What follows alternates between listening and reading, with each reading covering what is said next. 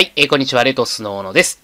えー昨日お伝えをした、今年宅建合格するための、えー理解学習の一部について解説をした無料の小冊子、えーこちらの、えー請求期限が、えー本日までとなります。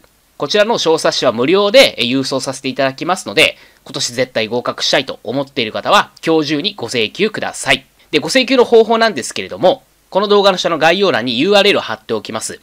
その URL クリックしていただくと、えこちらのページに飛びますので、この下の部分ですね、このフォームの部分に、え住所、氏名とメールアドレスご記入いただいて、えその下に確認ボタンあるんですけども、確認ボタンを押していただければ、こちらの宅建合格勉強法の小冊子、え無料で郵送させていただきます。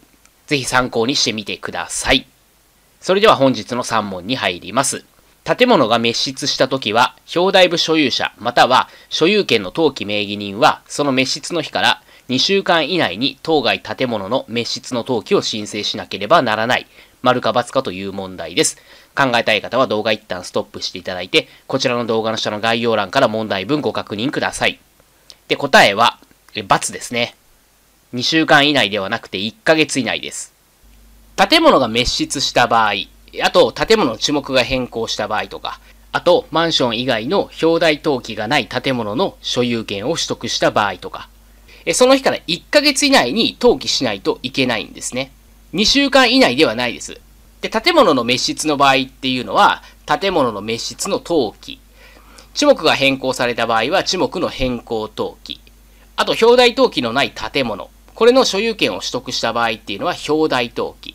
まあ、これらを1ヶ月以内に行ってくださいよっていう話ですね。これら全て頭に入れておきましょう。で、上記っていうのは申請時期が1ヶ月以内って定められているんですが、定められていないものもあるんですね。それ何かっていうと、表題部所有者の氏名だったり、住所だったりを並行した場合です。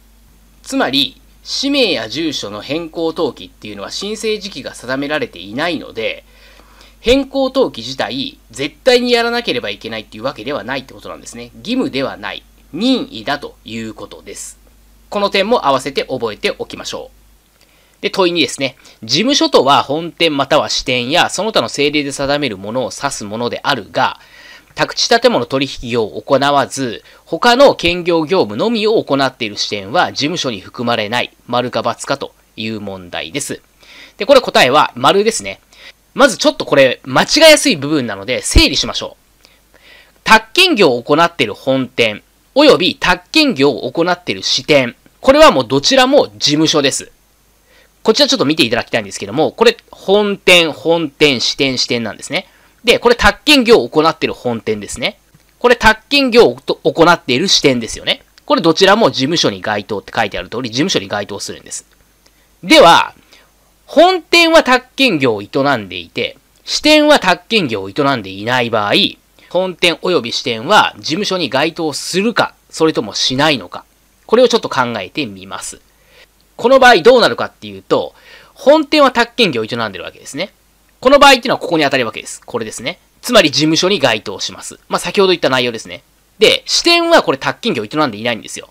本店宅建業を営んでいて、支店は宅建業を営んでいない。まあ、ここの事例は建設業を営んでいるっていう事例なんですけども、宅建業を行っていません。この場合、この支店は事務所に該当しないんですね。つまり、本店は事務所に該当して、支店は事務所には該当しません。まあ、これはここの内容ですね。で、今回の問題っていうのはここの内容なんです。支店の話なんですよ。宅地建物取引業を行わず、他の兼業業務のみを行っている支店って書いてありますよね。先ほどの事例で言うと、建設業を行っている支店の話ですね。この場合、事務所に含まれませんでしたよね。ここですね。なので、事務所に含まれないっていうのは、丸になるということです。で、もう一つ考えてみましょうか。本店は宅建業を営んでいない。これですね。本店は宅建業を営んでいません。建設業を営んでいます。支店のみ宅建業を営んでいます。支店宅建業を営んでいる。この場合どうなるかっていうと、この場合は、どちらも事務所に該当するんですね。本店は宅建業を営んでいなかったとしても、支店で宅建業を営んでいると、本店も事務所に該当します。宅建業法上の事務所に該当するということですね。この点はしっかり押さえておきましょう。この4つの事例ですね。多くの方がこれ整理できていませんので、ここちゃんと整理しておきましょう。で、問い3ですね。国土利用計画法です。え、事後届出にかかる土地の利用目的について、都道府県知事がえ当該土地を含む周辺の地域の適正かつ合理的な土地利用を図るために必要な助言をした場合において、届け出をした者がその助言に従わなかったときは、その旨を公表される、丸か×かという問題ですね。これどういうことかというと、まあ、届け出したんですよね、とりあえず。国土利用計画法に基づいて、まあ、事後届出をしたと。そしたら、知事がアドバイスをしてきたと。まあ、これ助言ってアドバイスっていうイメージです。アドバイスをしてきたけれども、届け出をした人がそのアドバイスを無視したってことなんですね。